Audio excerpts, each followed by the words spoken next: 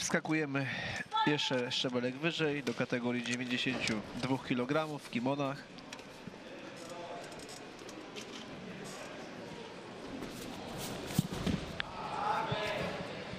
I uwaga, Marian Kłosowski to taki troszeczkę specjalista od dźwigniowania nóg. Zobaczymy co Włoch na to odpowie. Marian już sobie zaczął swoją grę. O właśnie, to o czym mówimy, jest klucz na stopę złapany. Włoch to broń. Aj, szybciutko, szybciutko. Jeszcze tam się coś stało. No już nawet nie zdążyłem dokończyć frazy, a już Marian zdążył chłopowi nogę urwać, także przynajmniej nie rzucałem słów na wiatr. Marian też nie rzucał i wygrał. Tutaj zapowiadali go jako zwycięzcę Open.